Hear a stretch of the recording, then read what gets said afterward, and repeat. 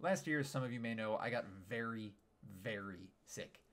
Not just a week or two of serious illness sick, but a life altering doctor visits every week for an entire year sick. Part of getting that incredibly sick involved signing up for government assistance programs. Quite a few of them, in fact. Uh, but one in particular stood out to me. Just like every other thing I've ever had to sign up for online, this government website asked me to create an account with an account name and an associated password.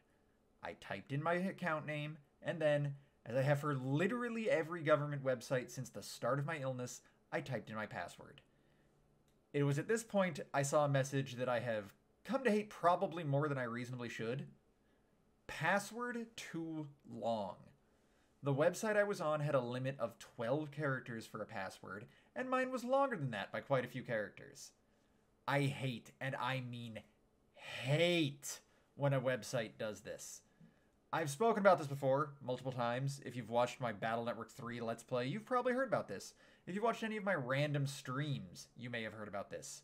If you are my actual real life mother who came to visit me at one point the day after this happened to me in real life, you heard about this. It's something that is legitimately insane to me, and I've decided to actually sit down and fully explain why that is for once. Since the early days of the internet, we have been trained on password security. The idea that if your password isn't safe, then your information also isn't safe. The problem's way that we've been trained to create our passwords is fundamentally wrong, and it's been wrong for so long now that the people whose job it is to actually implement the safety procedures don't fully understand why they're doing it incorrectly.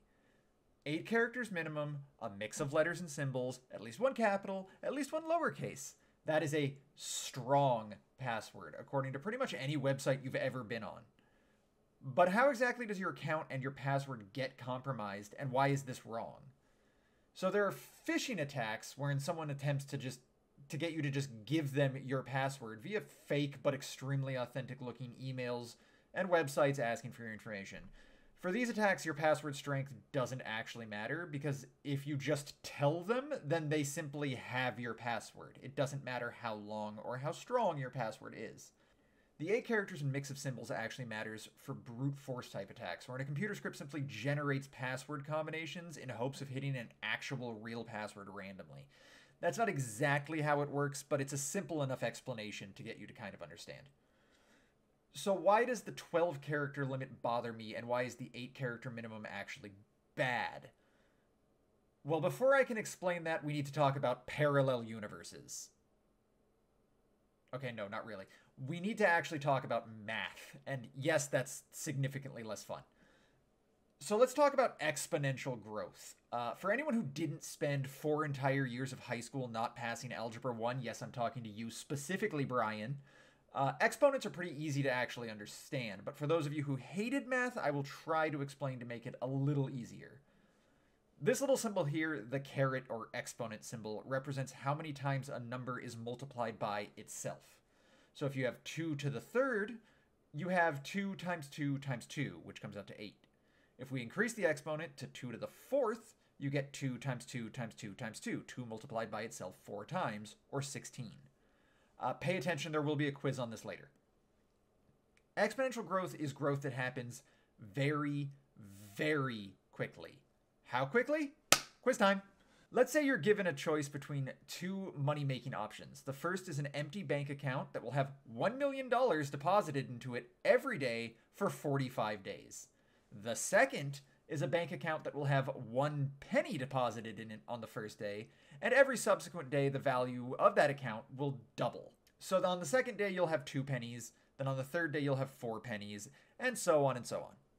Which will be worth more money after 45 days? Uh, go ahead and answer in the comments. I'll wait. Let's see how much each account is worth. Obviously, the million dollar account will be worth $45 million. It's just $1 million times 45 days. That's a lot of money. If you had chosen the penny account, you would have, however, ended up with this much money, which, as far as I can tell, is enough money to buy Twitter and make an ass of yourself to the entire world a few times over.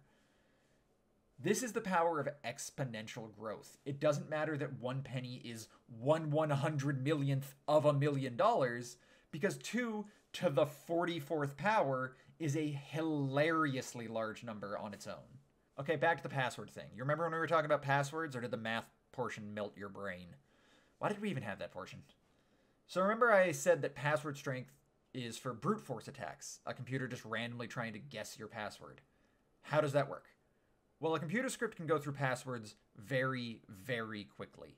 There are 94 different possible characters you can use for a password 32 lowercase letters, 32 uppercase letters, 10 numbers, and 32 special characters like the exclamation point. A high end computer made specifically to brute force passwords can go through multiple billions of combinations of these characters in roughly a second. Yes, billions per second. So, how do you make your password more secure and why does the character limit matter? Well, let's do some math again, real quick. Let's speculate that the time it takes for an attack script to go through all 96 characters is one one hundred billionth of a second. That is zero point zero zero zero zero zero zero zero zero zero zero one seconds. Uh, if my math is correct, it might not be. Uh, honestly, it's probably faster than this, but this is just to give you a rough explanation. If your password is one character long, that's how long it takes for it to be broken. But what if it's two characters long? You haven't doubled the time it takes at this point because now it has to go through all 96 characters an additional 96 times. You've exponentially increased the amount of time it takes. So you end up with that 0.00000000001 times 96 to the second power seconds. Uh, and for three characters, that becomes 96 to the third, then 96 to the fourth, and so on. So at eight characters, you end up that with that one one hundred billionth of a second times 96 to the eighth power seconds, which comes out to roughly 72,000 seconds or 50-ish days. Uh, that's not an incredibly short amount of time, but it's not really that long either. But what if we increase the password length to, I don't know, let's say 16 characters? What do we get with that? Well, you get this number of seconds. That translates roughly down to one quadrillion years, I think. Again, if my math is right, which at this point it probably isn't because these numbers are huge. The point is that the difference between 8 characters and 16 is massive to the point of being comical. 50 days is less than the amount of time I spent thinking about making this video. One quadrillion years is roughly how long it will take some of you to fully understand exponents. Okay, but what does all of this mean exactly? Well, it means that you should let me make my passwords as long as I want, god damn it. But it also means you should be making your passwords longer. The longer your password is, the safer you are from these types of attacks. It actually is that simple. Which sounds wrong next to computer that can guess billions of passwords in a fraction of a second, but it really is. It just works. And you may be thinking, well, how do I remember a password that is that long without forgetting it? And the answer is actually equally simple. Just make your password an easy phrase to remember. For context, if your password was like and subscribe to Pink Reaper, that would be 28 characters, a password so long that the heat death of the universe would happen before a computer could guess it. And I hear you saying, but that doesn't have numbers and symbols in it, that means it can be guessed faster. To which I respond, it's still 28 characters, and I'm trying to make it easy for you. Stop being a little shit. Simple Easy to remember but long, multi character passwords like that are significantly more safe than using eight random characters you'll never remember anyway.